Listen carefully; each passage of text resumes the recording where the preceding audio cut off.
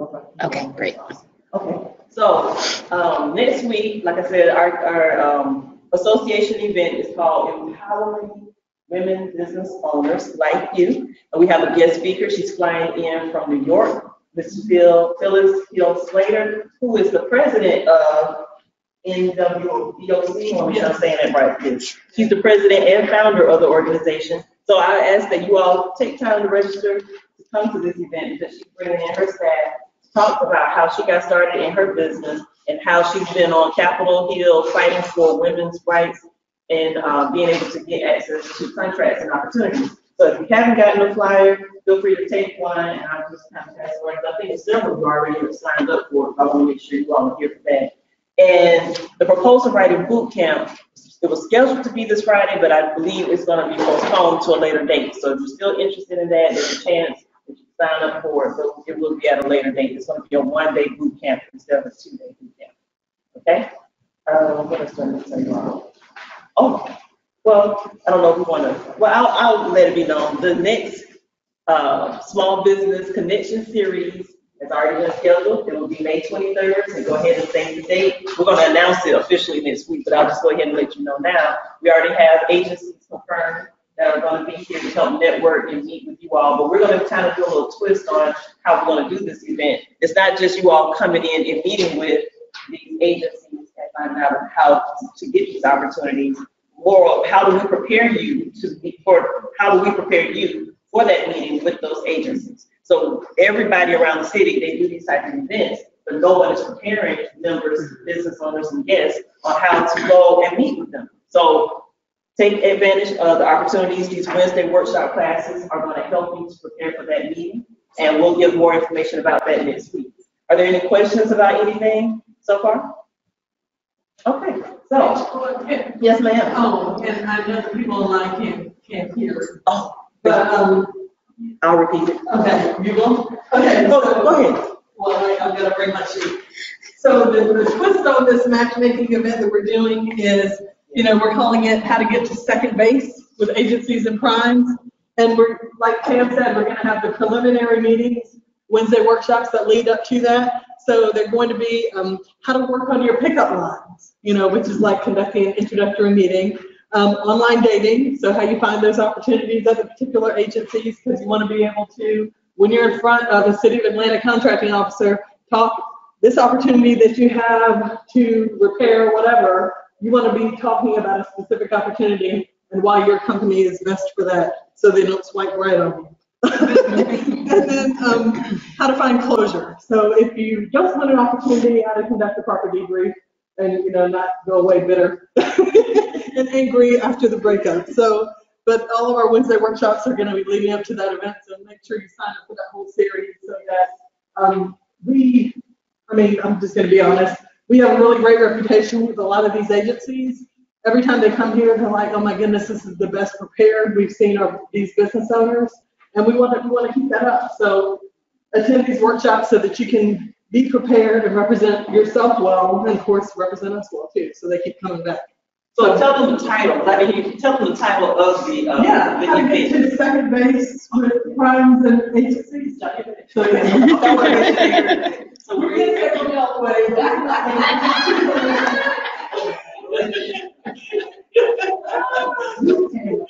You know, you know. That's you. You've been around. Okay, so today's workshop is about pipelining and forecasting, forecasting and pipelining. And we are being blessed with the presence of Naris Communications and Ms. Shakita, who works with Ms. Keera. How many of y'all were here last week for part one? So this is part two of the proposal writing, boot camp, well, not boot camp, proposal writing class. And Ms. Shakita is going to educate you all on how to forecast a pipeline for the next few opportunities that you need to be uh, going after for your company. So I'll let Ms. Shakita talk about herself and her company and take it away. Oh, thank you. Good morning, everyone. Okay, can I? Okay, it's on. Yeah, good morning, everyone. Um, so for forecasting and pipelining, uh, Myra, thank you so much. I'm trying to, to the next slide. No. Oh, we need to, yeah, just presentation. Yeah, you might just have to click. Yep, I am, and it's not working. What? Nope. All right, we're gonna leave my beautiful picture up for a second. I, I don't think, yeah, I would have to go this route. Yeah, is there another clicker? No, I don't think. Okay. So, Okay, great. It wasn't doing that at first. Thank you. Um, so I, just a little bit about myself. Um, I've been working in this space with business development in a sense for over 15 years, and that's truly the business acquisition lifestyle um, cycle. So that's from looking for opportunities, preparing opportunities to submitting opportunities. My background started with a small company, a 8A company in Northern Virginia. And you know, when you work with smaller companies, you wear multiple roles. So I was also working business development. I was also proposal management and doing whatever marketing for the company there was to do. Um, which helped me along the way working with other organizations, medium-sized organizations, as well as large-sized businesses. Currently, right now, I do work with a large business right here in the uh, city, uh, city of Atlanta, where we are a um, health IT and health communications company. And of course, um, working with Nearest Communications, she works with us as well. And so it's a great partnership between the two companies. Myra, getting back to what you said, I definitely think pipelining and forecasting goes directly into preparing everyone for the um, I, I call them the dog and pony shows. the dog and pony shows with the agencies. Um, the one thing you want to ensure is that you know who's buying. So you want to ensure that you know what their forecasts look like. And so you're not going in there and say, hey, I can offer you everything, but you have a specific opportunity that you want to discuss. And have you done your research on that opportunity? So they so now you're a credible source to them so they know that you're prepared. All right. So the agenda, as you know, this is the second part series of the proposal writing, and this is more so how to find the contracts, then to get the solicitation, then to set yourself up to write. So um, stealing a little bit of Keera's thunder where she had objectives. and normally never do objectives, but we'll go over some objectives for that um, for this training, as well as forecasting, how to pipeline, who are your buyers, um, business intelligence uh, research tools to find the contracts, how to create the pipeline, and um, lastly, how to speak the government's language, well, understanding the contract award types and well as contract types. Any questions? All right, I do speak fast, so if you need me to slow down or if you have any questions, please feel free to let me know. So some objectives for this training, um, understanding forecasting. Um, so we're just gonna baseline just a little bit, understanding what forecasting is understanding pipeline, um, learn how to forecast opportunities to improve your win rate, and then learn how to create and populate your own pipeline. And I think that's what really everyone wants to know, how to populate a pipeline. All right, so fun facts.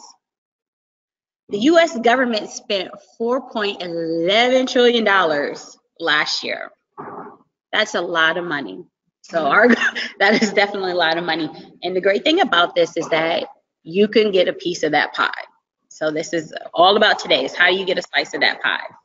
So one thing about forecasting, truly forecasting is just a tool that we use to help you to budget, plan, and estimate for future growth. So you want to think about what contracts happened in the past, what contracts are actually going on now, and then what is the government planning for the future. Any questions? All right. So what is pipelining? Pipelining really is a term to say, hey, now that I found all these contracts, how do I now, be, how do I save them and store them so it's easy for me to go back and find them? And it truly is a tool to use to just see a picture of all the contracts if they're in the past, if they're in the um, present, and if they're in the future. So it truly is just a visual representation of the opportunities. And that's all pipelining truly is. So marketing campaign, who's buying? Um, part of uh, for government agencies, the departments and offices that are buying your goods and services.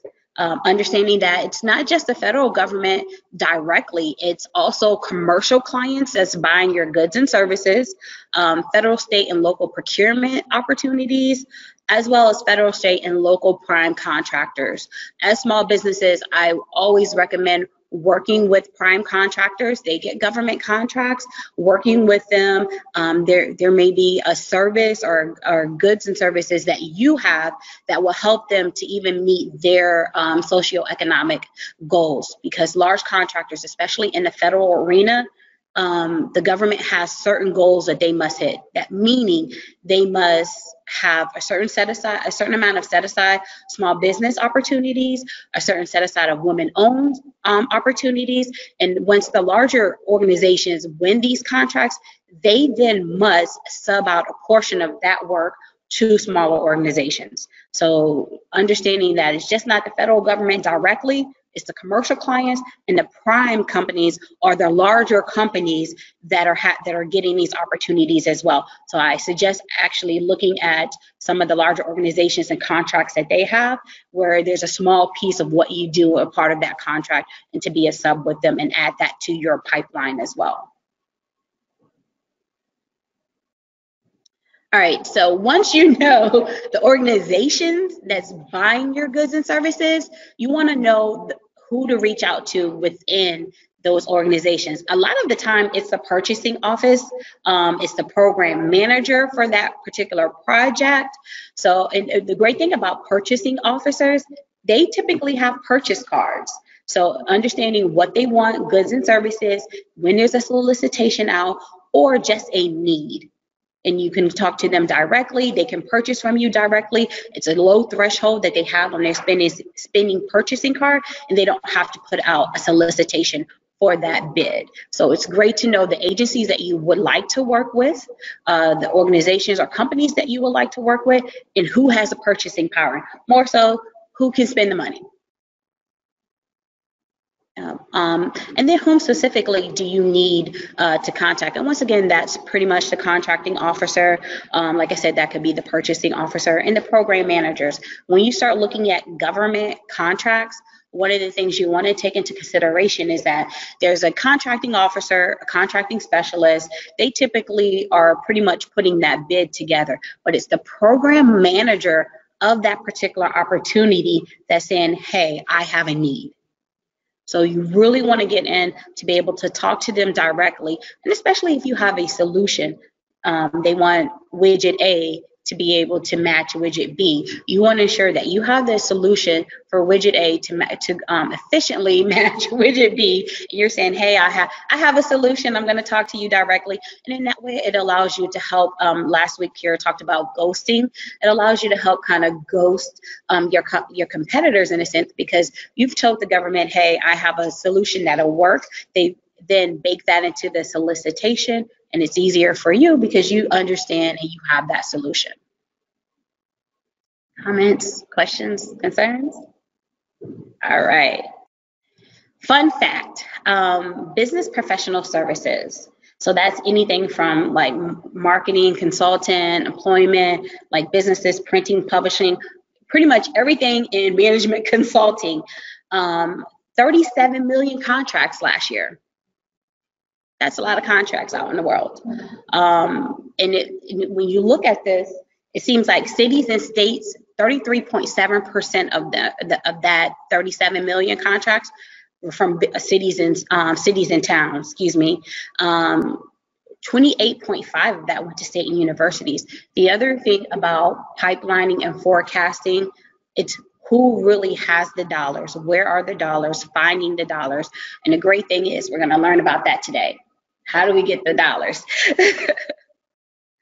All right, so here are some business intelligence tools, we call these research tools, to help you find out how to find the money.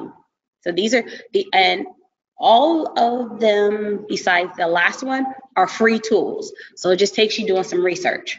Um, takes you dedicating some time every day to doing your research. So uh, federal business opportunities, we call this FedBizOpps. Um, that's the organization. So pretty much everybody in the federal government, if they're putting out a solicitation, it's going to be here. Um, we're gonna go, we're actually gonna walk through these tools so you understand. How many people right now have a service business where you're providing like a consultant services? Okay, and how many people are providing like a goods, like a product? Okay, so what we're gonna do is we're gonna go th- walk through some exercises on how you can find the money in your, in in your, um, your niche area. Um, the federal procurement data system, so this system is every place that there's a contract, if the government awarded a contract, all the dollars are in this system. So this is another place. So when we talked about past, present, and future, and when we when forecasting, FedBizOpps allows you to look at past opportunities, present opportunities. Now, um, the federal procurement data system that allows you to look at present opportunities. It allows you to look at what the government is paying for each contract currently at that moment. And then you can also look in the past and see what the government has paid. And the great thing about this, it links back to if that's a contract that you want, going out and doing the research on the contract and then adding that contract to your pipeline. And this is something that I'm going to pursue in the future. And General Service Administration, this is um, an organization where they have what's called different vehicles where you get a contract with them under under your specific your capability. And when what they would do is then they have a hub. So in this hub, in this data center, they then all of their future opportunities or something they would like to purchase from you because you've already been vetted they have this hub where you can go in and now search for opportunities if it is if it directly meets your um, requirements. And the other way that we can find um, opportunities is through dedicated government agencies portals like the um, Department of Army have a portal right now. So when they release um, new solicitations, sometimes they would ask you to go into the portal to get the solicitation, and then sometimes even to submit your proposal back into the portal. So is um, one. So keep that in mind. That's another tool set of how do you find the money. Um, in usspending.gov, what I like about usspending.gov, to me, that is a past and a present opportunity to find the money the great thing about usspending.gov is they're really the watchdog for us, the taxpayer. They're saying, hey, the government got this much of our tax money and how they're spending it. And a lot of that is through contracts and bids. So they have everything pretty much that the government touches and spends money on. And the great thing about a great thing about that is it allows you to go back and see what the government spent on. You can even go down to this, not, not only the federal level, you can go down to the state level, the county level, um, to understand where your dollars are going, what contracts that the government have out there, um, and then link that back to how do you find that opportunity to put on your pipeline. And the, um, another thing is the OSDBUs, and we call them the Office of Small Disadvantaged Business Utilization they I, so when I first started, the OSDBUs would um you could go to their office and they had like a forecast, and this is what they call their forecast. There's like the, here's all the opportunities the government is thinking about purchasing over the next year. Um, so it was like this little thick little booklet, and you would go through, and I would highlight and sticky note, and then do additional research, and then I was like, okay, then we can add that to our pipeline. And nowadays, you can just go onto the government website, click, search, and find opportunities that are most beneficial to you. So in our paperless technology society, we no longer have to go to the office. You can just go online and Google. Um, and then, and now understand every tool that I just mentioned they're free. They don't cost you anything. It just takes your time um, and understanding how to research and um, look for those opportunities. The last one I want to talk about is that there's several GovWin databases that that cost money, and I believe um, that GCA has a database right now where they have opportunities. Myra, what's the name of that database? Okay, Gov Directions. Yes. So I would definitely get with Myra about Gov Directions um, to search for opportunities as well. Um, GovWin is one that I currently use.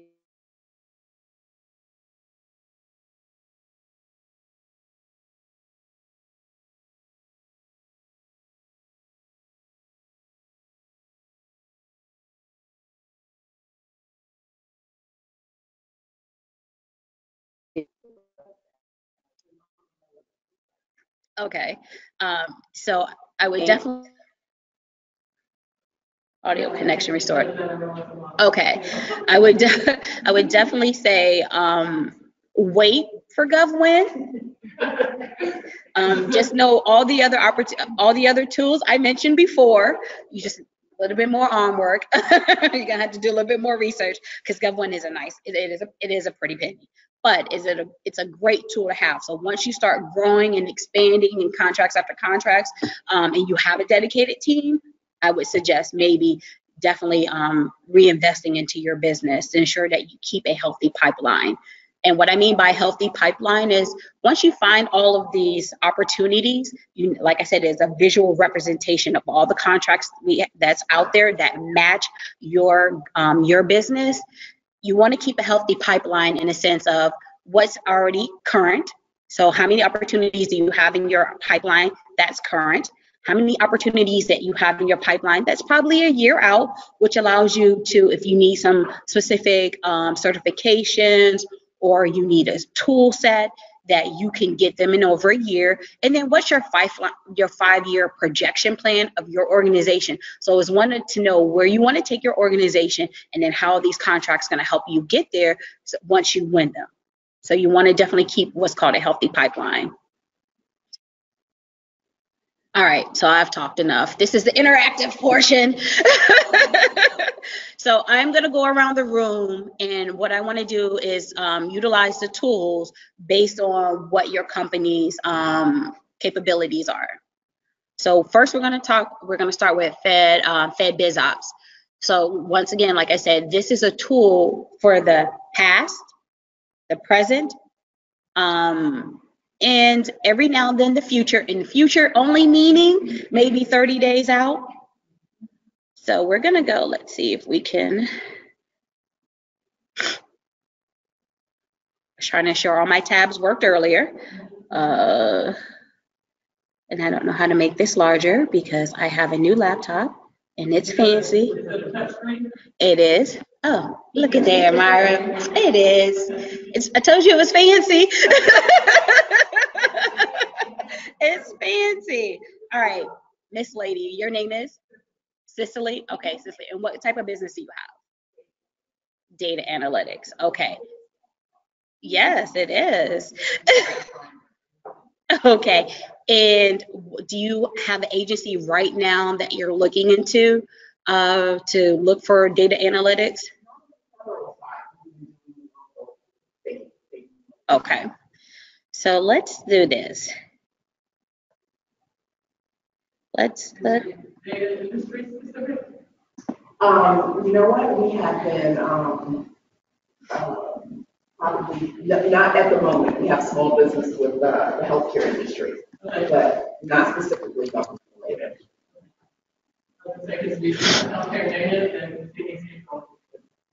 Mhm. And I will say, as um, working with a large organization, um, currently there was an opportunity released maybe a week ago that we're working. And what we're noticing, um, although the, the opportunity in and of itself has nothing to do with data analytics, there's a small portion of that contract that has data analytics. So once again, when I um, was talking earlier, and say, hey, you know, some of the larger companies that get the government contracts, they're your customer. Because if we actually produce some data analytics, so if we did it, that's a hole, that's a gap that we have to fill in order to be able to execute that contract. So what I did was I, we're gonna go in the past. So I, looking for opportunity that's a year out, that it's already been awarded more than so, more than likely. I did total small business. So the great thing about FedBizOpps is they have these drop down menus.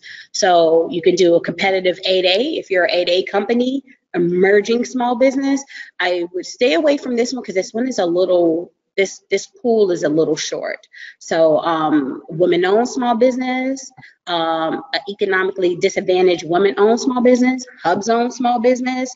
Um, if you're HBCU, if you're partial small business, a service disabled veteran-owned small business. So as you can see, they pretty much cover the gamut here. Um, and then what you can do is place of performance. If you want to do a specific region, say, hey, I don't want to really work outside of Georgia then you can look for what Georgia has um, as federal. This is only federal. This is not state and local, just federal. Um, but for this exercise, we're going to keep this open. And then contract type. Is it pre-solicitation? Which means they're just pretty much saying, hey, in about 30 days, we're going to release a solicitation. Oh, or here's one even better. Tomorrow, we're going to release a solicitation for you. Um, a combined solicitation, which means a synopsis and a solicitation, really, which means like, okay, we're going to put this opportunity out, and oh, by the way, here's the opportunity. Um, sources sought. I think this is some of the thing, another area where companies really don't take advantage of, and you should. The government, a lot of times, um, when they're going and they're when they're in their acquisition phase, they want to know what the market looks like. They want to do kind of surveillance of the landscape. So they'll say, hey, we'll put out a sources sought or request for information um, and trying to get some capabilities of companies who can do this work. The great thing about VA, if it's two or more, because of the Kingdom, I believe it's Kingdomware Act, if it's two or more veteran or uh, veteran disabled small businesses that can do the work, then they can't go full and open. They typically, if, I think it's outside of IT, they typically then have to have um, that set aside. So this is another tool to use because you can say, hey, there's the market looks good. The government says, oh, five small businesses with direct experience can go after this work. We're going to keep a small business because guess what? Then we get to keep our, we get to meet our goals once um, we award this. Um, special notices sometimes if there's a contract out and it's it's around like the expiration time and this is under justification and approval as well um, what they would do is they would say hey we bridged this contract it was set to end march 30th what we did was we gave them a six month extension. So there could be a solicitation that you're looking, you're, you're like, I want this contract, it's on your pipeline, and you can monitor if the solicitation is a night out. You can say, hey, well, did the government give them a bridge contract? And that bridge is say, just saying, hey, we're not, we really don't want to extend this or we can extend it, but the solicitation is not ready for the streets. So we still need the work to be performed. So um, this is a way to track that as well. So we're gonna just say any, and I just um just so we don't get stovepiped, I piped, I just said data. Um, we're not gonna pick an agency, but if I wanted to, I could do let's see DOD. I could type in. Oh, doesn't want me to do DOD. Let's do. So I was going to do Department of Transportation. So as you start typing, it then populates, and then you one of the things about the government, you have the government agency, they have offices, and they have multiple offices within inside of that um, that agency. So one of the things while you're looking and deciding, okay, who is my customer? You want to understand what many agencies they have inside of that overall department. And the best thing about that is every agency has an org chart. So you can go and look at their org chart and look at the agencies and say, okay, this is a target agency within this department that benefits me. But we're going to leave this open and we're just going to see and we're just going to hope and pray that it will give us. So now we're just going to do search and let me know because Myra told me I have touch screen. All right. And this is just putting data in. So there's just, so here's the thing. You may not get a direct hit right off the top. So this is what I'm saying. This is research hours, not to get dirty. so you're going to have to go in and truly look and read. Um, and like I said, some of them may not fit. All right. And then there was one that I just saw right off the beginning. What is this one? PMEAS. Let's click on that. And we're going to open it up, and it's a sources sought. So remember, this is not a contract. This is just a way to get your capability out to the government without going to them directly or calling them and saying, hey, can I set up a meeting? This is a way for you to put together typically a five pager on why your business could do whatever work the government wants. So this is just a source of sought, but I wanted you to see how the opportunity looks. So it'll tell you the agency, it'll tell you the office. Remember, if you have your org chart, you can link it back and the location. Um, this is all military terms. Um, what I like about this is if you look at the right-hand side under general information, tells you that it's a source of site, salt, um, that it was posted March 6th, that's early. Um, and then it'll tell you if they're gonna archive it. They'll tell you if it's a set aside. Um, right now, this is a total small business set aside. And then they give you the instructions on how to respond back to the opportunity. And I was looking for, and typically if there's documents, here, let me see. They'll have the linkage to the doc, the link to the document and no documents. Okay. And I'm gonna actually go back here. And go to the bottom, because I'm gonna let you know they have 254 pages worth of stuff. so yet again, yeah, yep, look, see milk and dairy, training equipment, books, a receptionist. Yep. So as you can see, but you gotta go through, you're gonna have to go through. Okay. And then, um, so do you usually use keywords when you're doing this kind of research in FBO?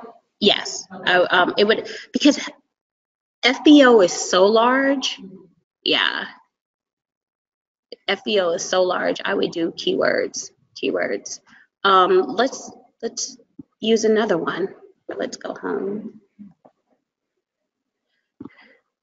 All right. And I apologize because I know no names, but Miss Lady in the Green. How are you? Okay. In your company? Real estate, okay. And are you finding any government contracts in commercial?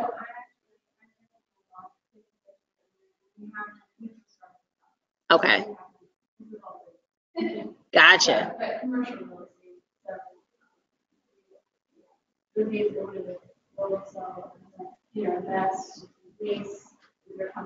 Okay. All right, and then Miss Lady in the back? And I do marketing. Okay, I'm just gonna pick on this side.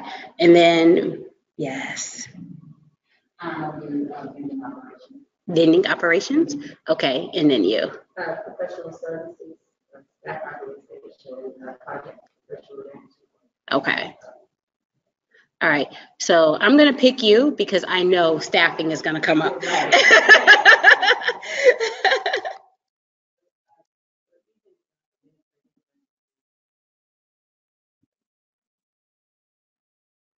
All right.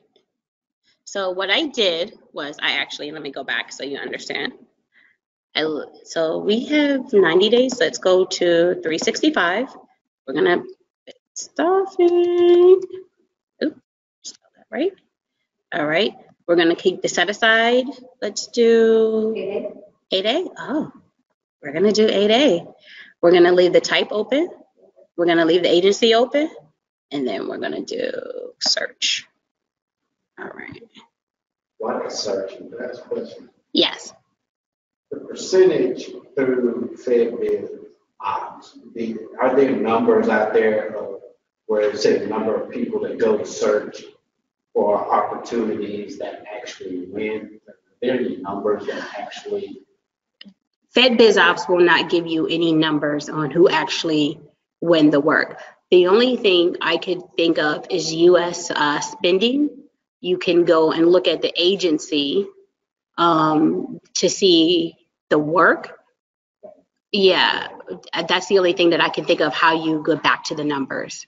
Yeah, because FedBizOpps is not gonna sit here and say, hey, oh, no worries, yeah. Um, so here's one for building maintenance support, first up. And this is a solicitation. So here's a great thing. So on the right, it has all the files that goes along with the solicitation. And then on the left, has where it tells you when the original, um, when they released the original solicitation and any changes and mods to the solicitation. So understanding this is real time, so this was back in February 5th, um, March 4th, it was changed. And it'll, if you click on it, it'll allow you to see what the changes were. There was an amendment, questions and answers to the solicitation. So once again, past, present. This is present real time. Um, if you wanted, as far as for pipelining um, purposes, what you would want to do is look for opportunities that are, were, that had already been awarded. Yeah.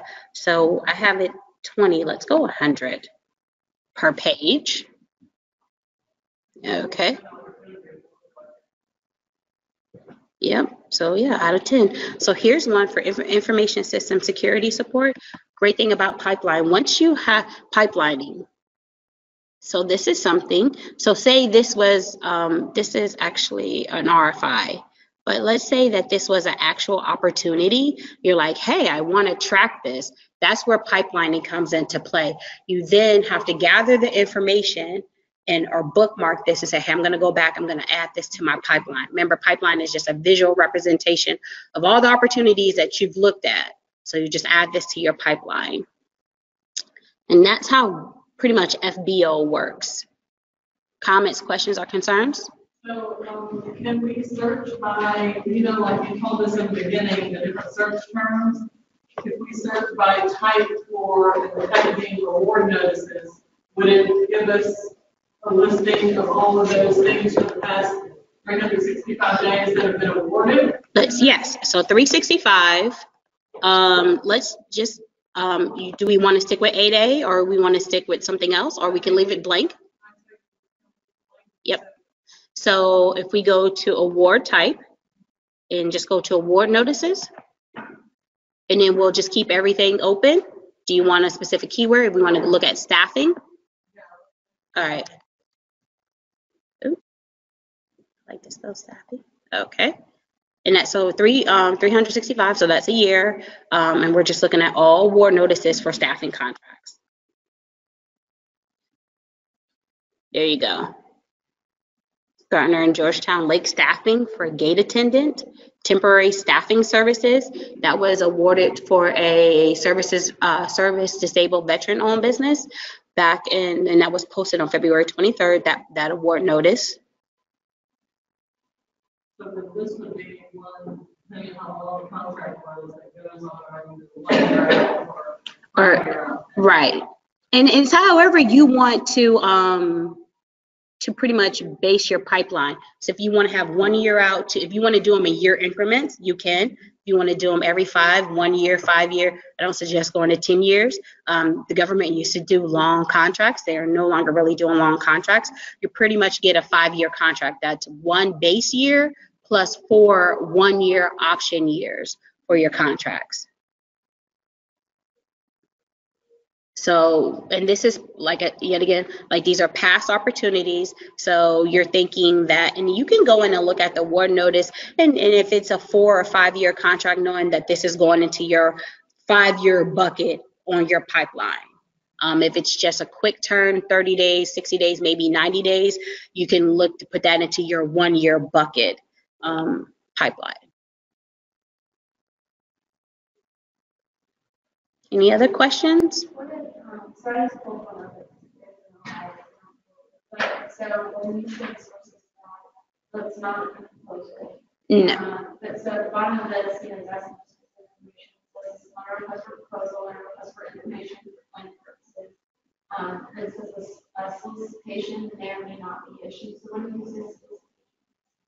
So a solicitation is an actual document from the government saying, hey, we want to procure these services or goods from you, which meaning it's, it's active, it's live. Typically, the stage is RFI, we've done our market research. Okay, we know that there's companies out there that can do the work. Let's put a solicitation or a bid out on the street. And um, then there's a, then those companies then submit a proposal that they can do the work. And then the government goes into what they call their evaluation cycle to out of, let's say, five companies, which one is the best, low risk to us, and the dollar figure is right, and then we will award that contract to them. So I would say this, um, although you submit a RFI response or a sources response, if the government feels like they can't or it's not in their budget to put out a solicitation, they will not. Yeah, so your goal is more so as another opportunity to get, especially if that's an agency that you would like to work for, is to get your name out there. And then once you submit your RFI, if it's not in a blackout period where the government, because once the government puts out a solicitation, they typically don't speak to vendors. But um, if it's not in that blackout period, then you can call them and set up a meeting. And now they're familiar because you submitted a market, in a sense, a marketing data to them to get them acquainted with your company. Does that answer your question? Okay. Yes. So how long is that blackout period? Um, and I, tip, so anywhere I've, sometimes once the solicitation drops and sometimes right maybe a month or two before that solicitation and i say drop meaning that solicitation is out it's open for the public um, yes so sometimes i you know sometimes i say like okay well once it's once it's out then we can't talk to you but maybe the week before i could have and then sometimes it's like one or two months out like if it's in legal and it's almost ready yeah we can't talk to you yeah, so it dep it depends. Yeah. I wish I could say there's like a set window, but it just depends on that agency. So after you know, like all of these, we see that the response is due by day. Is there a certain number of days after that that is still considered blackout? After this, uh, so after it after it closes, you could go and talk to the government about that opportunity, but they're going to award it to a company and then they're going to move on. So at that point, it's almost getting to have a conversation with them, not about that opportunity, but if you, especially if you know that's a reoccurring service. So then within the next three or five years, like you've already um, built a relationship with them. Yeah, but once it closed, once that once the opportunity is closed, they submit their proposals. Um, typically, yes, you can talk to the government about it. Um, yeah, but just understanding what at that what's relevant at that moment for you. All right, let's go back. So that's FedBizOpps. Any questions on FedBizOpps and how to look for past opportunities, how to look for present opportunities? Okay. So um, the Federal Procurement Data System, someone asked if you can see how much a contractor is making um, from a contract that the government procured. So this is a good way to say you have a competitor. So I clicked here. And you're going to get the slides. So pretty much every contract that right now that the government has, they have to um, report the spending, how much they're paying per task order or per invoice. So every time, whatever um, the stipulations were in the contract, if the government says invoice me monthly, quarterly, or yearly, they're keeping contract, uh, uh, um, they're keeping a list of those invoices and the dollars to the invoices. So I'm just going. So let's say Amazon, because I, I did a test earlier. We want to know Amazon, the company Amazon. Let's see, search for me. So there's multiple companies named Amazon. So we have Amazon services.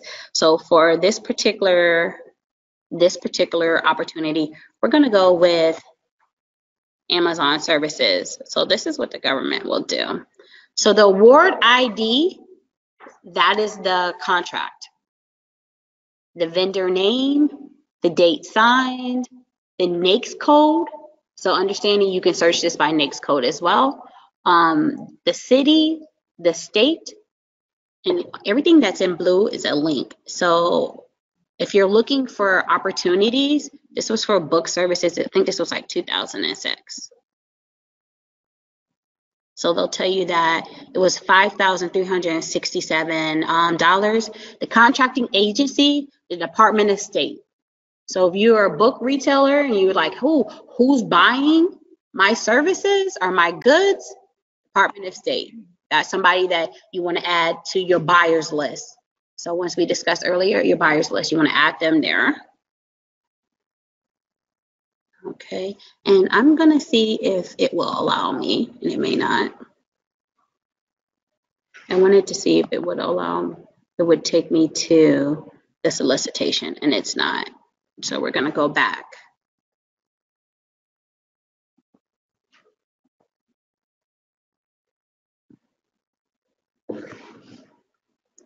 And I just, I searched by company. Let's see if it'll uh, allow us to do this by goods. Let's see, books. I just typed in books. So you go to their search engine at the top. I just typed in books.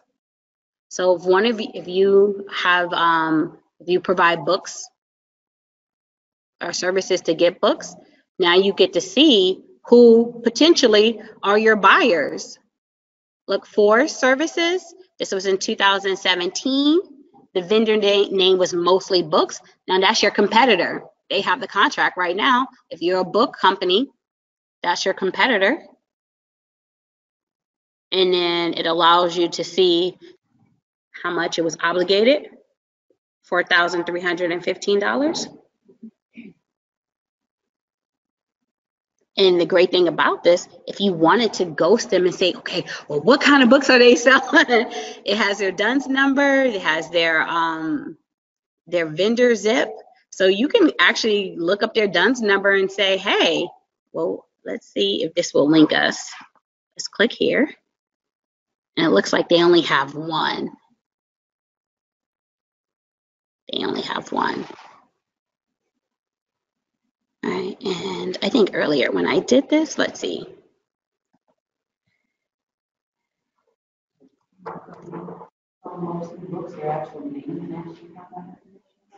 Okay, let's see. Let's go back.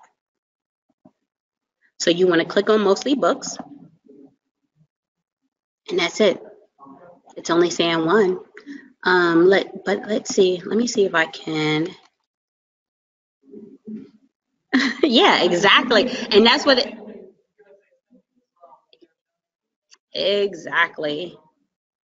So I wanted to look up.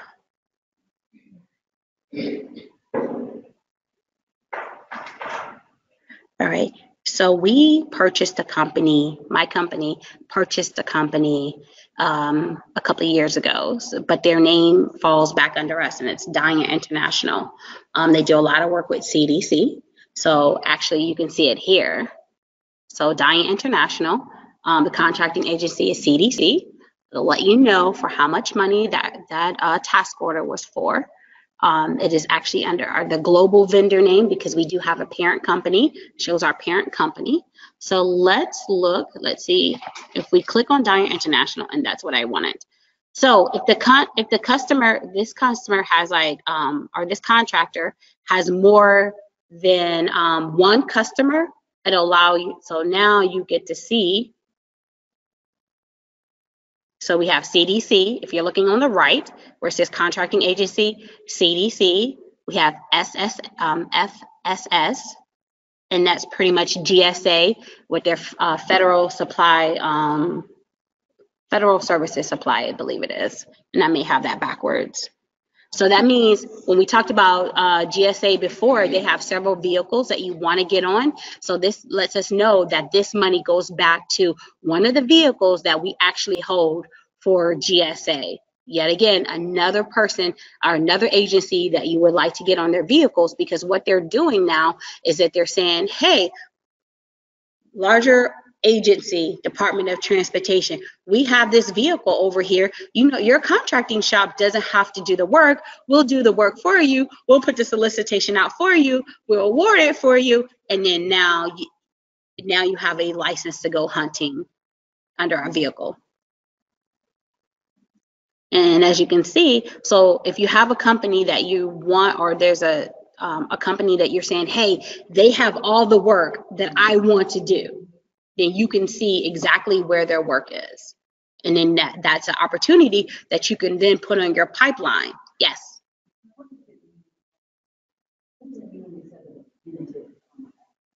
IDIQ. So is that indefinite um, quantity? Yep.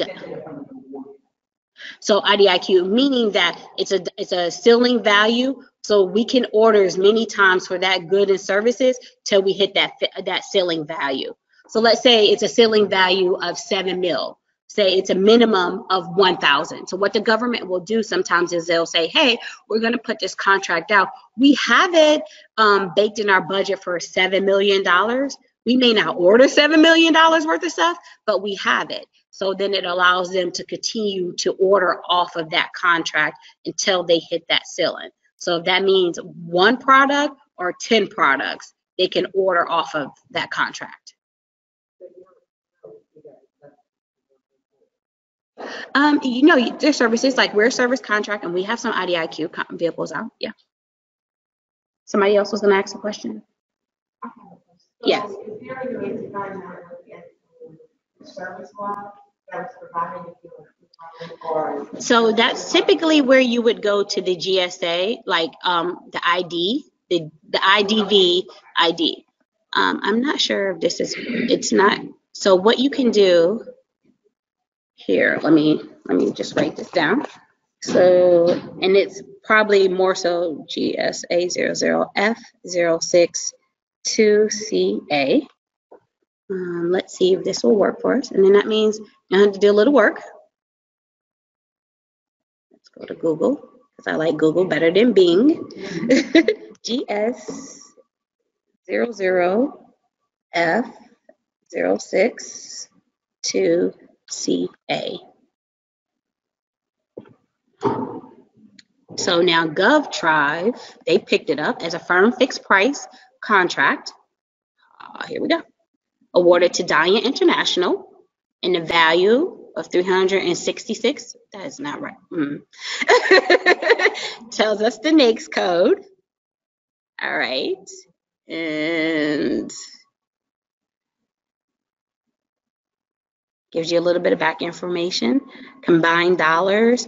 I think this is um, I think this is a um, IDIQ with multiple awards, meaning multiple companies um, can bid for contracts. I think they're lumping them all together. Yep, multiple award, full and open. There's no set aside, and are they? And they're not telling me exactly what it was for. But understanding is you can then pull the number. If it doesn't link back to something, pull it over to Google and see if Google will pick it up for you to see if you can find out where it is. Yep.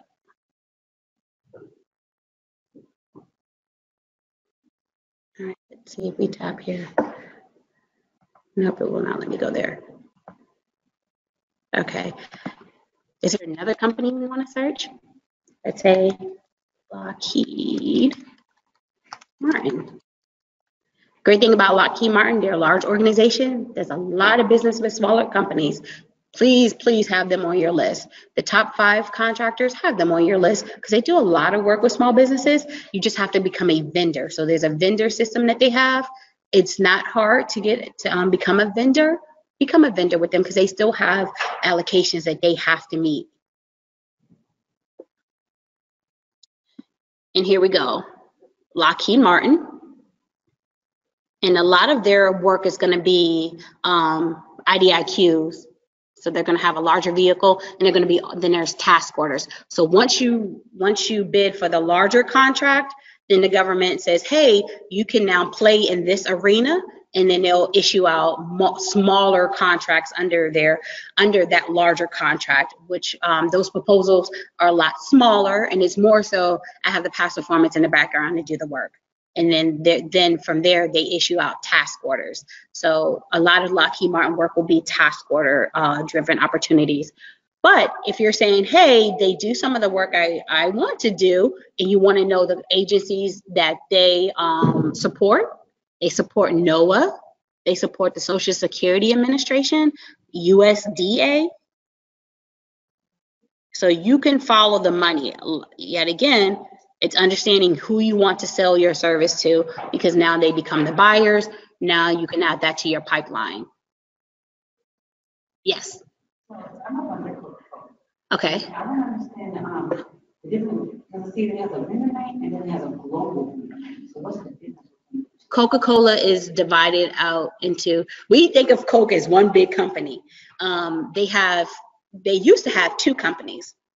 And the only reason I know this is because one of my girlfriends worked for them.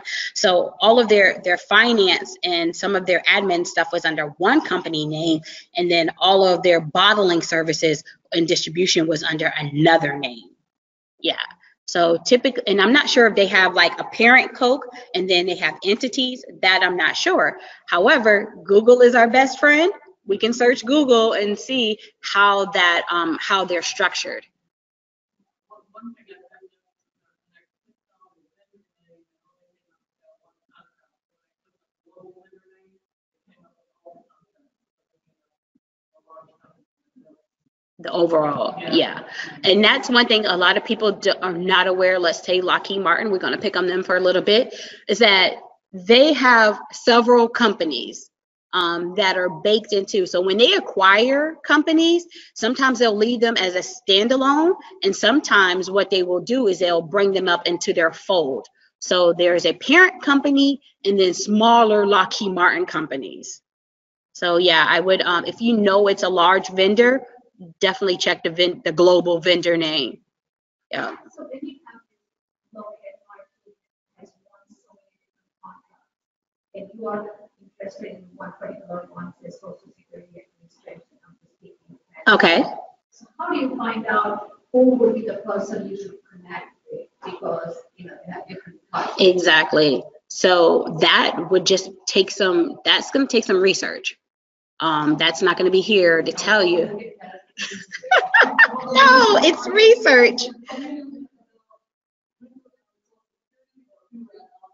Lockheed.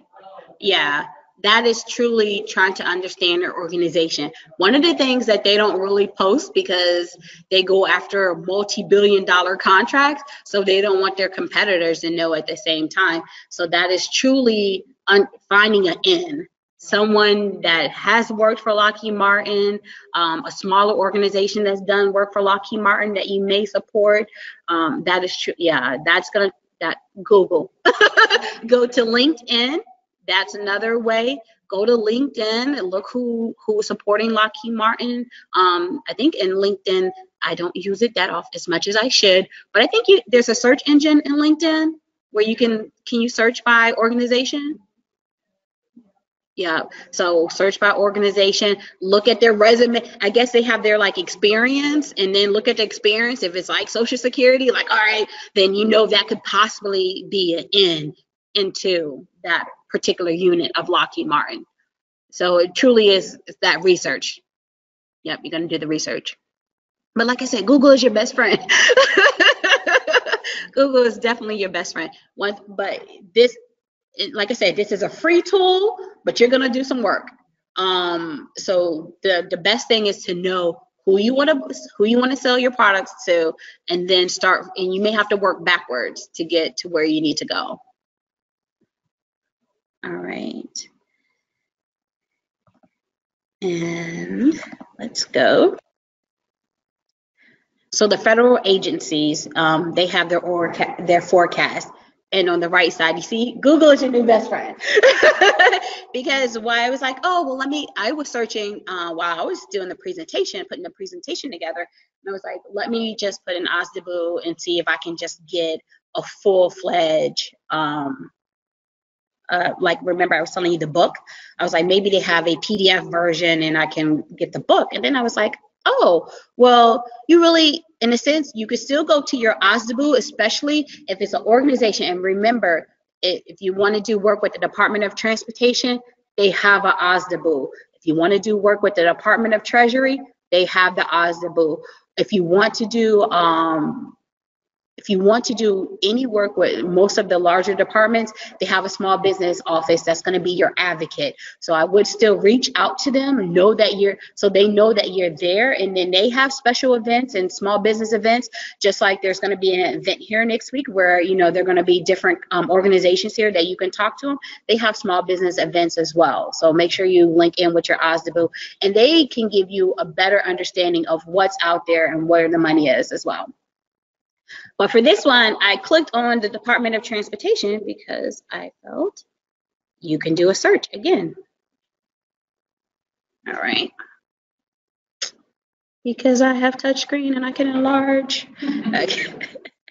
So you can search, and this is just for Department of Transportation. So if you're doing any work, you want to do work with construction work, any services with Department of um, Transportation. So you can go within the agency and the uh, Department of Transportation. Let's leave that open for right now. Competition type, 8A, 8A non, well, 8A competitive, 8A non-competitive. So almost like FedBizOpps, they have a drop down. Uh, for the sake of this, we're gonna do a small business set aside.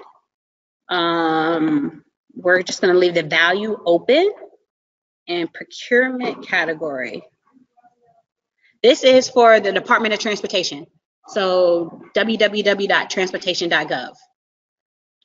And this is their OSDBU procurement forecast. Great thing about being a small business, there are set asides and they are full and open. If you have a service and you feel like, hey, I can rock with the big boys, by all means, go after the, the full and open opportunities as well. But if you want us to be the big fish in the small pond, I would stay with um, whatever your socioeconomic is. yes, because like I said, the government has goals, so they do set aside these opportunities for you. So as you can see, excuse me, we have business services, computer services, legal services, marketing services. excuse me. Because I'm battling allergies too. Um, the young lady in the back, I do apologize, I forgot your name, but you do graphics design. so marketing services, like graphic work, professional services, graphic design. Now I'm going to pick on this middle side of the room. And your name? yes. And you have a business? Okay. Charlene. And what's the name of your business, Charlene? Support services and they provide compliance management services. Okay. And the second table? Um, I mean, obviously, I'm doing cybersecurity, um, getting started, but Okay, cybersecurity. Um, my name is Stacy Neal, and I kind of have two main skills, but two primaries, but, um, advertising and graphic. Oh, wow. Okay. And the back table?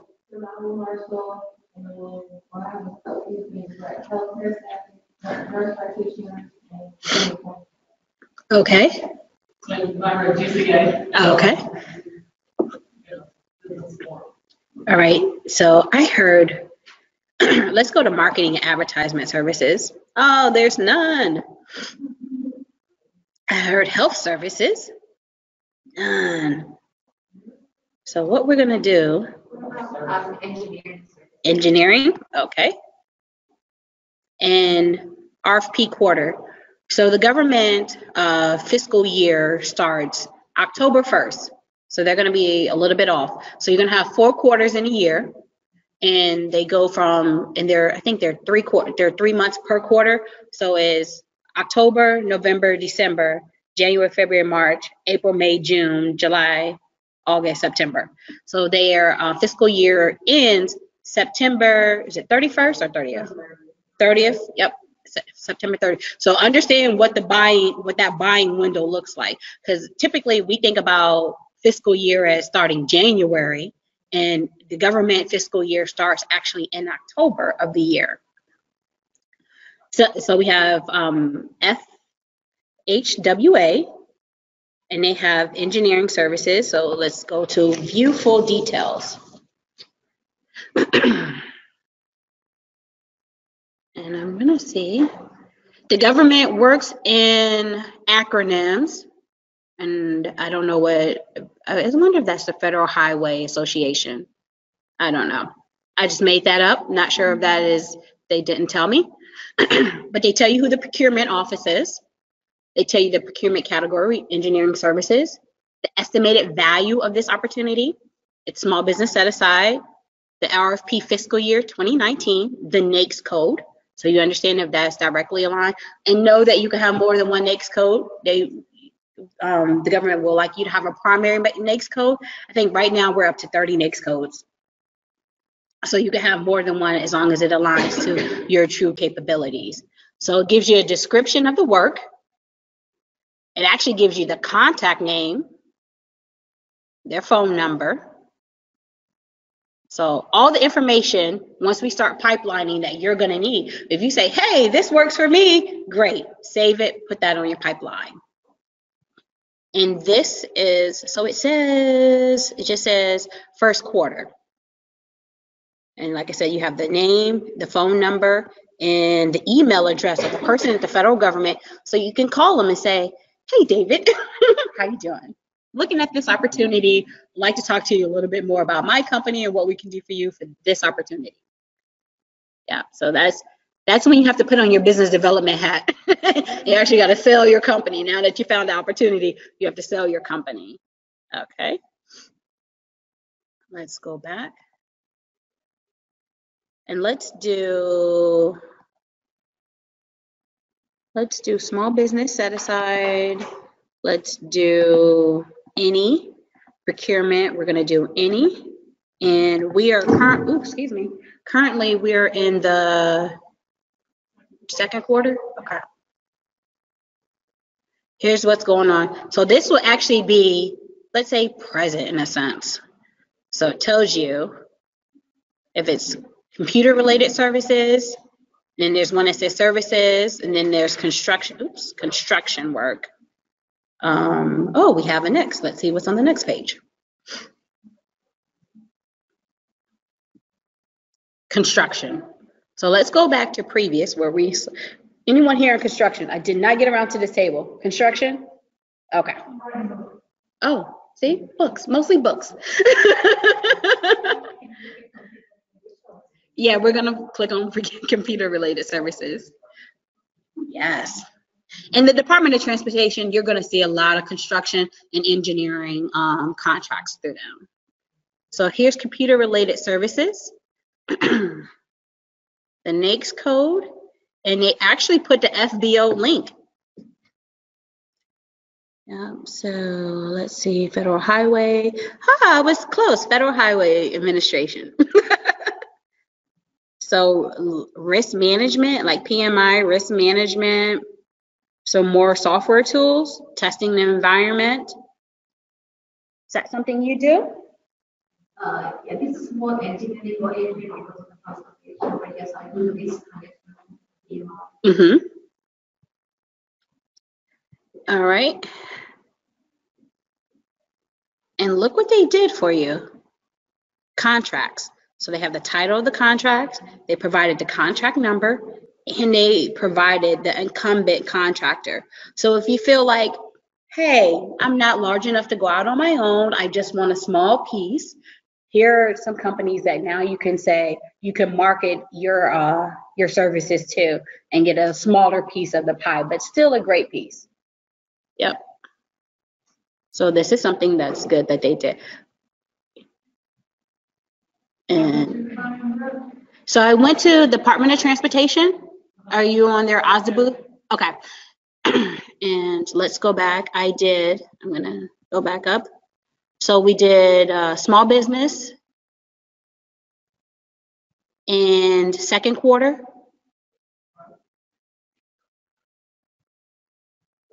And then that came up.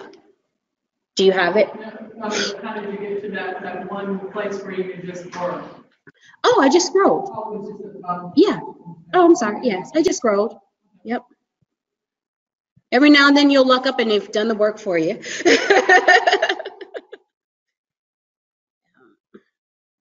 okay. And then I wanted to click because they have the link to FBO. Remember, we were just at FBO.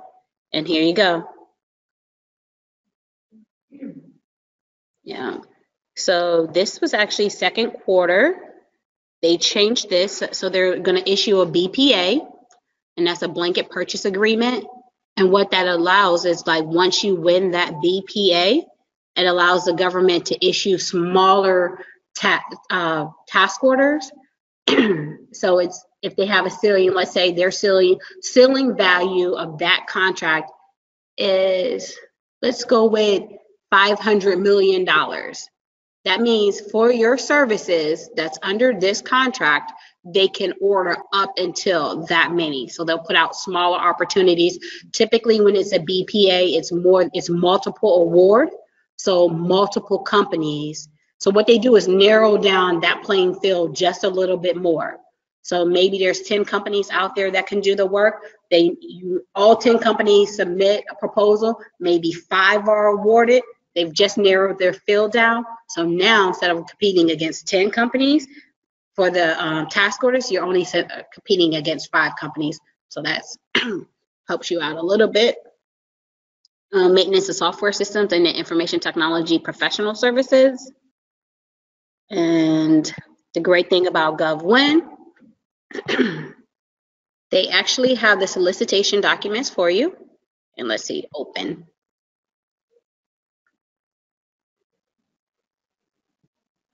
And this is just the amendment. I was hoping for the base solicitation. And what do you get? So I'm gonna go back. Um, let's see, how do I go back? I got fancy and I was using the touch screen. I was like, okay, how do we go back? So this was the original notice. And then over here were the files. You see on the right hand side where it says amendment one. And then it has this link right here. That's the file. Yep. And then October, so they originally released this on October, excuse me, October 4th, which is first quarter, and we did second quarter. And then they updated. They wanted the vendors to submit their quotation to the response. And they updated this October 23rd. Yep. So the great thing is when you start doing forecasting and pipelining is that if it's an older RFP, that you get to save that RFP. The government, please know this, and this is not talking bad about them, they don't work that hard. so if it's if it's a five-year opportunity or a three-year opportunity, more than likely the solicitation is gonna look the same the second and third time they release it. Now there may be a couple of nuances that change, but for the most part, the scope of the work is gonna stay the same. They may they may scale back or they may scale up on the scope of the work. But that scope of the work part of the solicitation allows you to really identify if your company can do the work or there's a larger company that does the work and you want a smaller piece. And then that then goes into you in a sense of doing some more due diligence, adding that to your pipeline, but say, hey, I'm not going to prime. I need to be a sub. So then finding a sub um, another company that's going to go after the work and you just be a partner to them for the work but still add it to your pipeline okay i want to get through all of them let's see if we are going to be able to get to all of them okay so that's using that's just going through the OSDBU search OSDBU forecast if you know the direct agency, if it's Department of Interior, if it's Department of Treasury, if it's Department of Defense, if it's Department, you get it, they're all the departments. OSDBU, get the forecast and just comb through the forecast of your goods and services. They have the search modules there.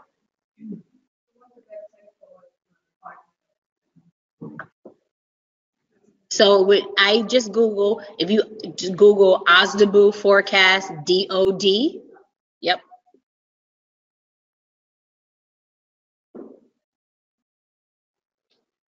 All right, so this opportunity, so say you have a GSA schedule, I suggest um, once you understand what your goods and services are, what you want to sell to the government, definitely try to get a GSA schedule. That is, um, that's truly submitting a proposal to GSA for the goods and services you have.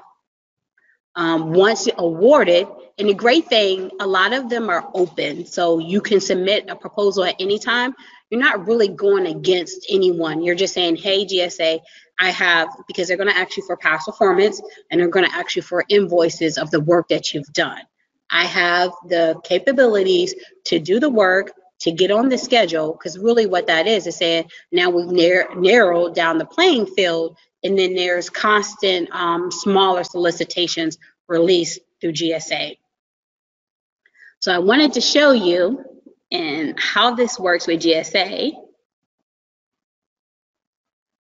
And we're gonna see, I tried to link in earlier.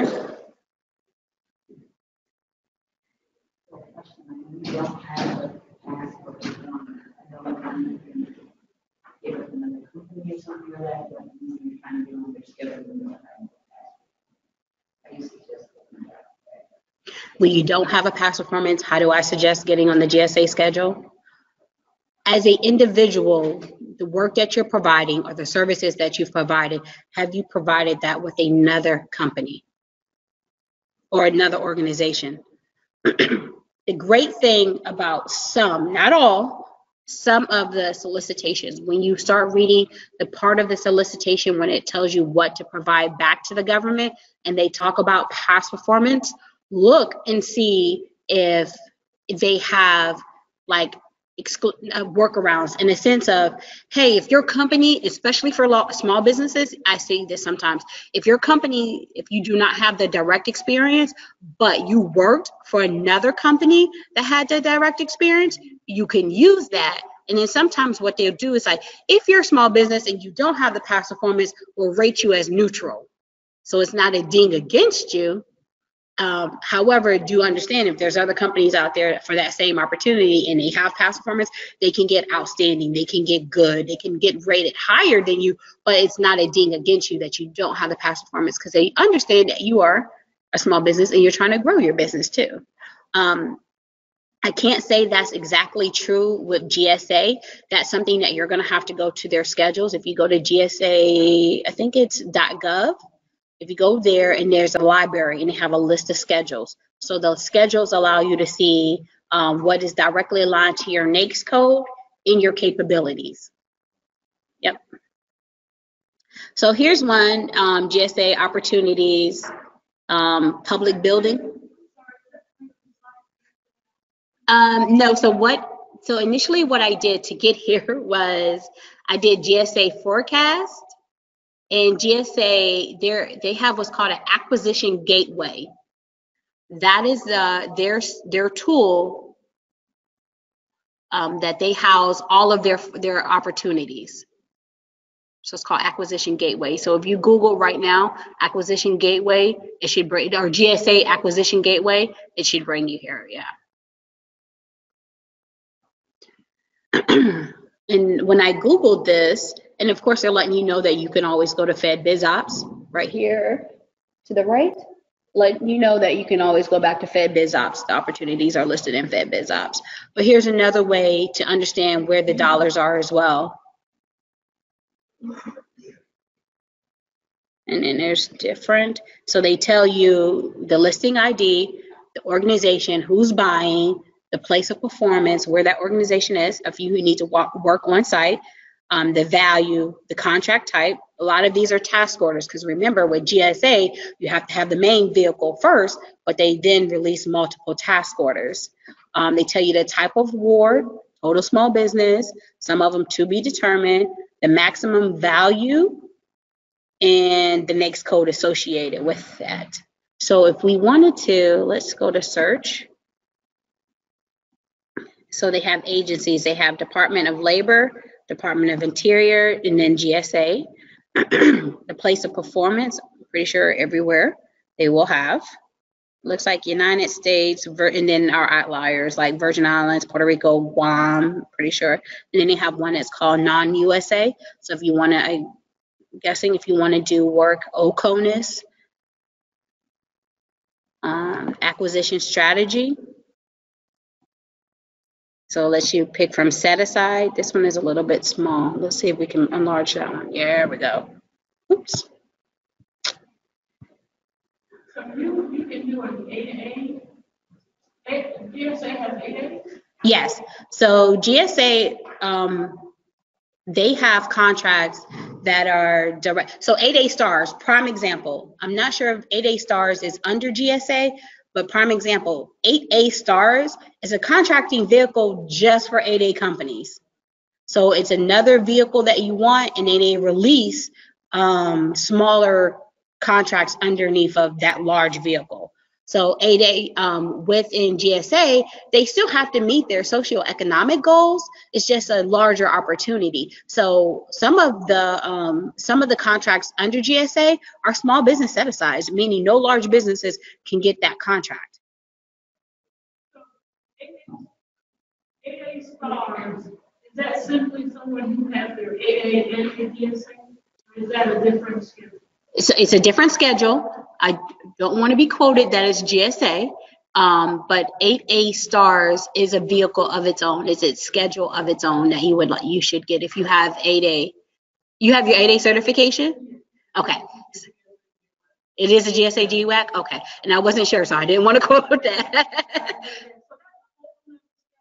For people, for people who are just 8A.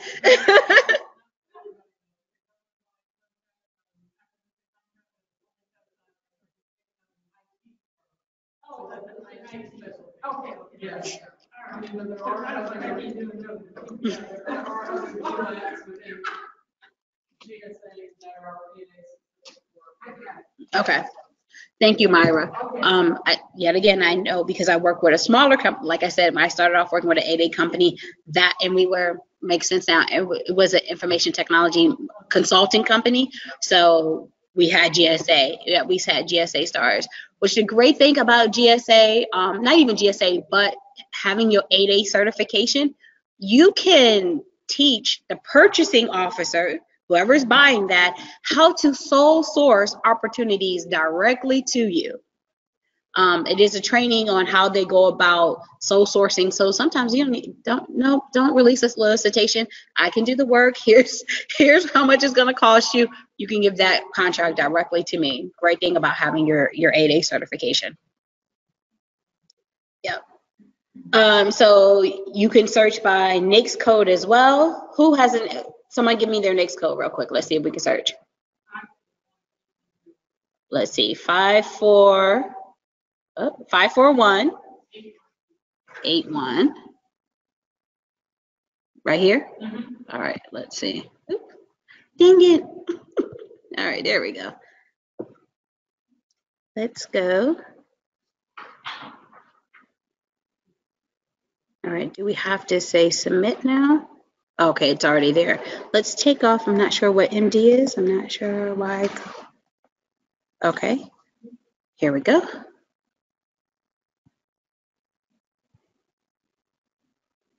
And now, let's see, let's scroll out.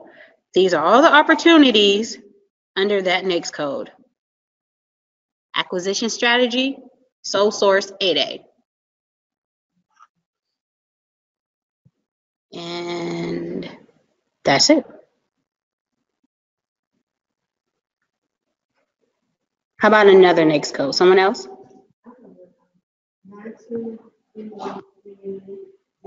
Okay, hold on, let's see. Nine, hold on, let's get down to the nines. Oh.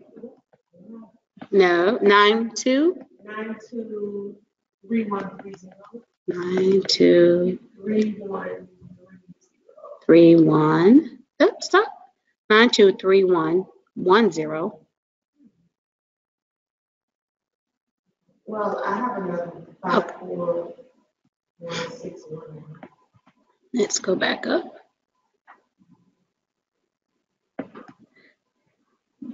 How many of you guys are registered in SAMS?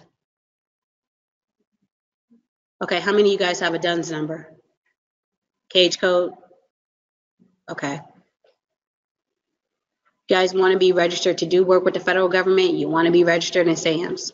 So make sure you have a DUNS number, cage code, so you can um, do work with the federal government. Five one, five four or five one? Five four? All right. six, one, four. Five four. do, do, do. I'm gonna give you guys the Jeopardy music. Five four one six. All right. six, one, four. Six one for it. Ah, there we go. Now we're in business. Okay. And travel training solutions. Yeah, post-payment audit services. So let's go to view details.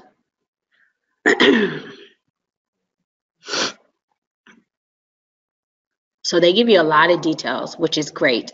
Um, a lot of this information you're going to want on your pipeline. So we're going to get to pipeline here shortly on how to pipeline. Um, so, but it does say it's a service disabled, veteran owned small business. So you want to make sure you read all of the specs to ensure that you qualify. The great thing, they have the point of contact name, their email address. Don't see a phone number. That's probably because they don't want you to call them, but you can email them. it does let you know that it's set aside under GSA. Um, this one was awarded uh, for transportation logistics. Okay. And it lets you know the, the incumbent's name and the award contract vehicle. So then you can Google GSA 33F G A015 and you can see what schedule that is under GSA. So then once you understand what schedule, if this is similar to the work you want to provide, you can now know what schedules you have to get under GSA. All right. Yep. All right, let's move. We're on the move. Right, usspending.gov. This is truly is something in the past. Department of Defense, 77.9% out of the $208.3 billion spent last year. So this was as of September 20, um, excuse me, September 30th, 2018. That's a large number. So Department of Defense had 79.6. Let's just go ahead and say 80%. Um, I'm gonna click here. Let's go to US spending. This is where I got one of my fun facts. $4.11 trillion. All right, so we're gonna go, oops, go, go, go, go, back up.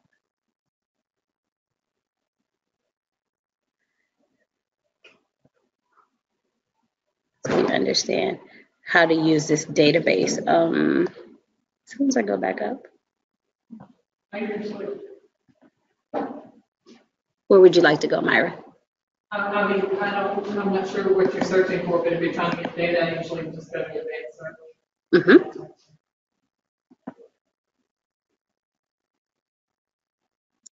So then what this allows you to do, um, if you want to go to fiscal year 2018, let's do submit search. So this lets you know the award ID, the company, look, Lockheed Martin, already at the top, Boeing. so large organizations, the start date of that contract, the end date of that contract, the amount awarded, and then the awarding agency, look, Department of Energy. Let me see, can you guys see that? Just make this a little bit smaller. Department of Energy, Department of Defense. So use the search, and this is spending by the prime. And then, of course, they have grants, if anyone's looking for grants. But here's contracts. So you can do award type. It's a contracts, let's do that. Agency, awarding agency. Department of State, Transportation, Veterans Affairs, oops, go back. Labor, Justice, Treasury. So we can, and we can search by location. So you can do the country, the state, the county, congressional district, or you can just add the zip code. And then you can search by their DUNS number, the uh, recipient's DUNS number. If it's a business, a minority-owned business, a woman-owned business, a veteran-owned business. If it's the government, the ward amount, the NAICS code. So you can, and if it's a set aside, 8A set aside, Indian set, aside, so they have 19 set asides.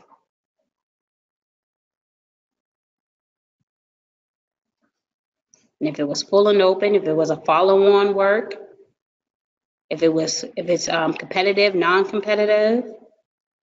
So you have a lot that you can search.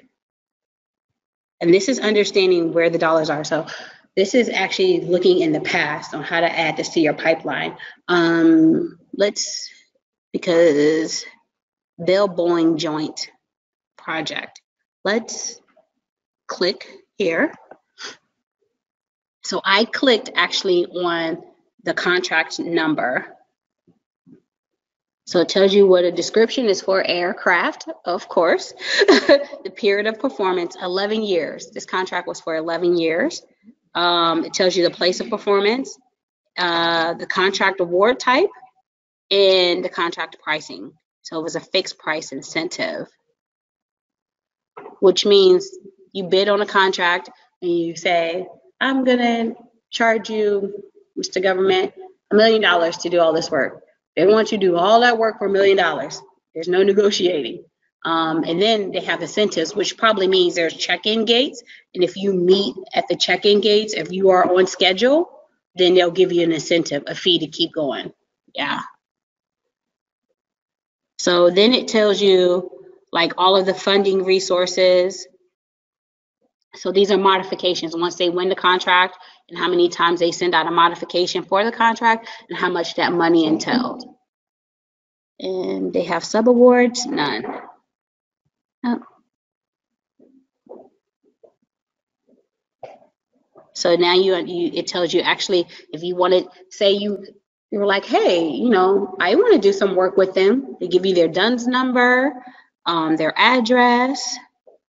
So if you want to go to Bell Boeing Joint Project Office and you want to do some work with them, or you want to send them your capability statement, or you want to find someone, I would suggest finding someone directly and having a conversation with them.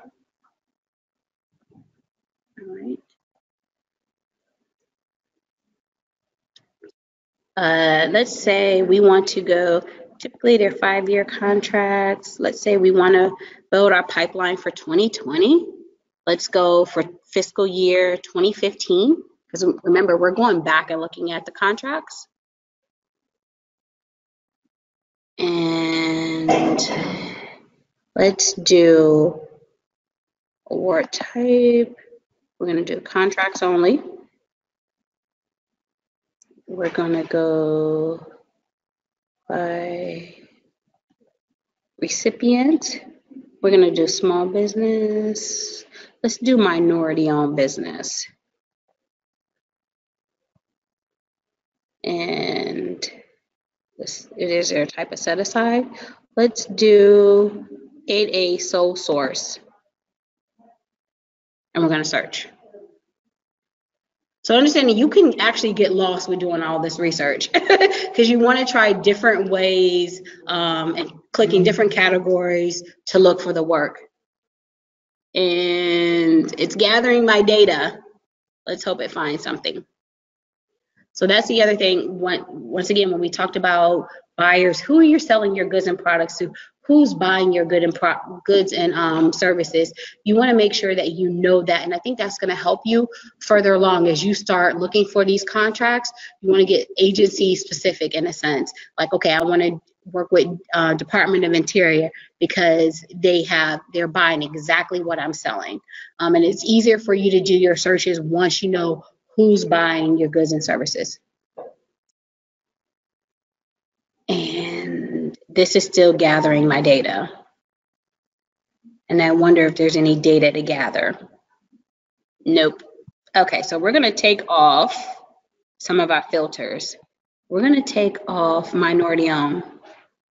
Let's see if we can take that off. All right, we're gonna take off minority on and see. Still gathering my data.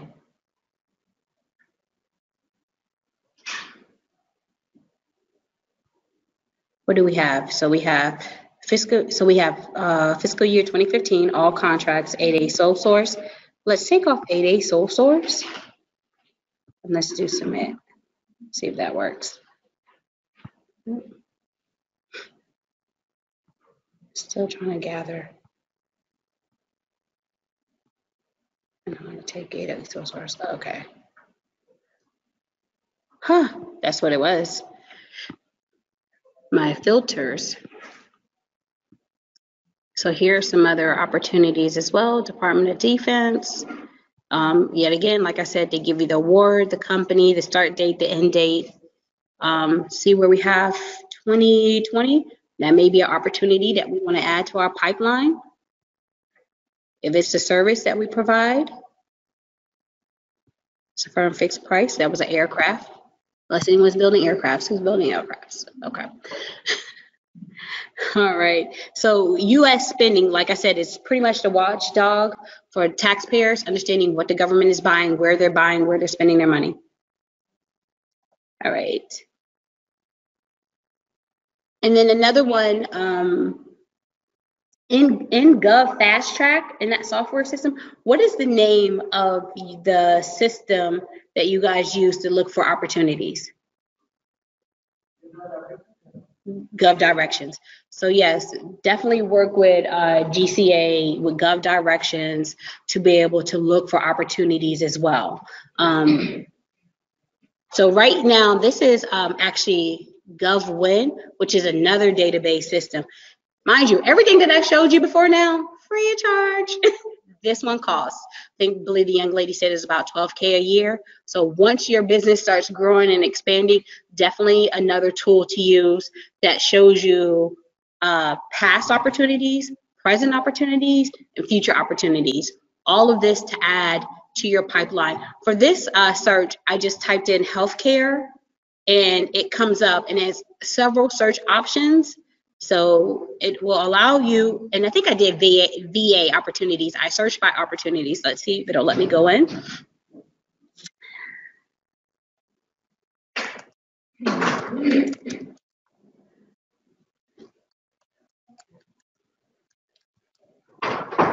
All right, let's see.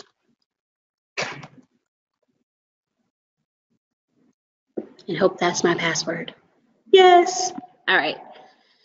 So it gives you, this is my dashboard, lets me know how many times I've searched for something, opportunities, if I save my searches.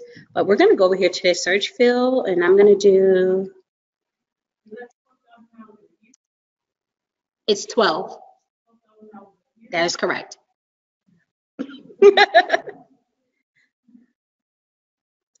and I just, I just put in VA opportunities and see, it gives me this nice little dashboard.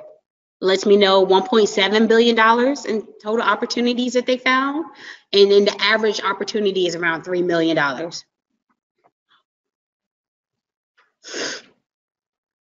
So I just got the nice little sign that my time is up. um, can I have like two more minutes? Okay, two more minutes. Okay, so I want to say another fun fact but we're going to get Okay, now that you've gathered all this data, and I tried to make it as interactive as possible, I do apologize if I'm running out of time. But how do you now take all that data and now keep it in a tool for you? There's companies out there that sell all these pipeline tools, they sell uh, forecasting tools. Good old Excel. Everybody has Excel. Understanding what you want to capture. I would say capture the opportunity name so now in Excel, you're building out columns. The opportunity name, the solicitation number, if it's an old opportunity, remember past and present, they have solicitation numbers. Um, the RFP date, when is that RFP going to be released? Um, you don't need proposal date. Um, typically, that's when the proposal is due to the government. Um, estimated award date. When is the government planning on awarding this contract? The contract start date, the contract, um, what is your value? So if you're a prime If that contract is worth $7 million, $7 million goes to you. If you are a sub, how much of that pie are you going to get? And these are things that, that you don't need to have, but it would be nice to have. But what you should have is the contract value. How much is that contract worth to you? What type of contract? Is it single award? Is it full and open? Is it an 8A contract? Um, if you're the prime, if you're a sub, the period of performance, is that a five-year deal, a three-year deal, a six-month deal? Um, if you know the incumbent on the contractor, because guess what? You've gotta outswim the incumbent. um, and then your potential customer, who's releasing that opportunity? Remember, we went over the Department of Veterans Affairs. We talked about uh, the Federal Highway Association. Who does that? Who is that opportunity coming out from? Um, under, excuse me. And then the primary point of contact, phone number, email address. So this is what initially you would want to have on your pipeline. So remember all of the searches that we did, they had a little bubble where they have they gave you all that information. Add that to your pipeline. I would say first, just get it all there. Get it all on there. And then once you have it all on there, you can say, hey, here are my one-year deals. Here are my five-year deals. Here are my short-term three to six-month deals. And when I said a healthy pipeline, when you look at the at the bottom of this, and this is one from 2016, it says that our estimated value was 763 million dollars. Now, granted, we may not get all of that, but that's a healthy pipeline. So we did win all of that. That's great in how we um how we grow our business. Any comments, questions, or concerns? Yep. So once once you and I would and I would honestly suggest, and I know I did it backwards, but I would honestly suggest building out your pipeline first in Excel. So once you start doing all your research, you now know how to um, what you need to pull and what you need to add to your pipeline.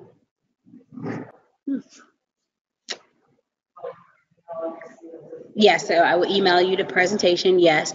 Um, there's a column that says capture manager. My organization is a little bit bigger, so I don't have to do the work. We have capture managers who actually go out, they look at the opportunities, and they go do all the client visits, they go talk to the customer, they do all of that. Small business, you're probably gonna be a capture manager. You're gonna be your business development person. You're gonna be that person, yeah. But more so than anything, I wanted you to see what a pipeline, just using Excel, doesn't have to be pretty, but how do you capture all that data that we just searched? Yes.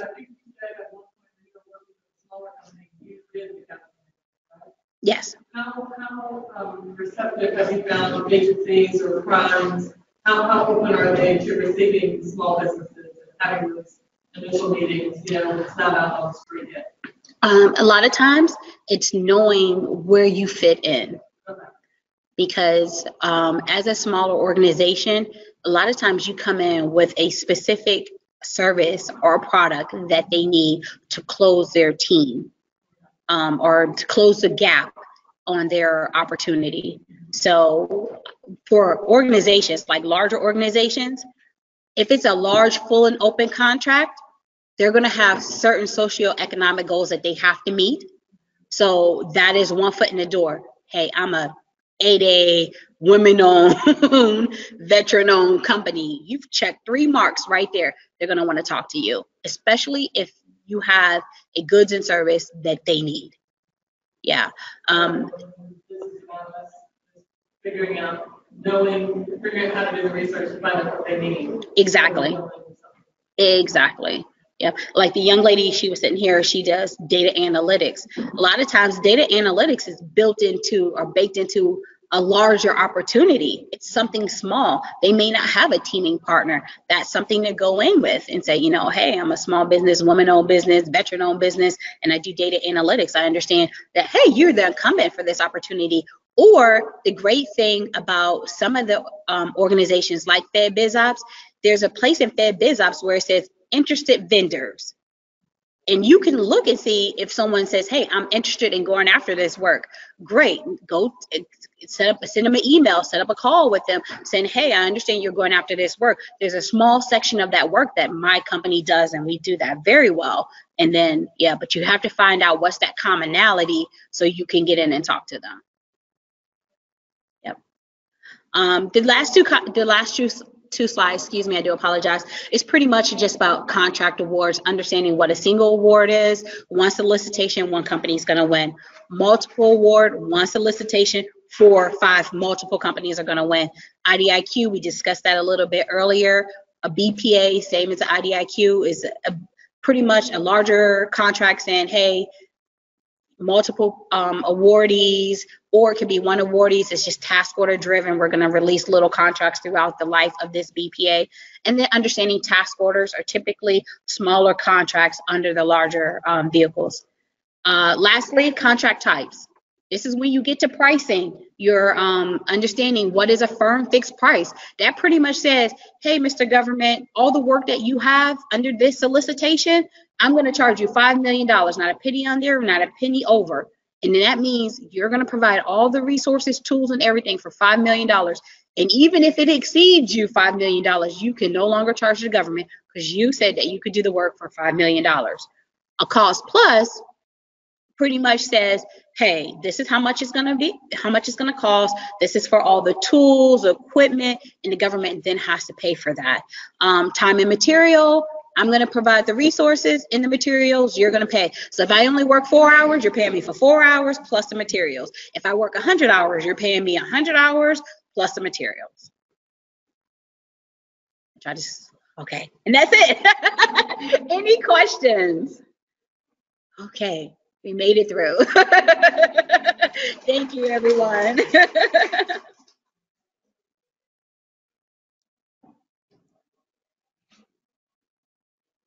Thank you, everyone, and have a good day online.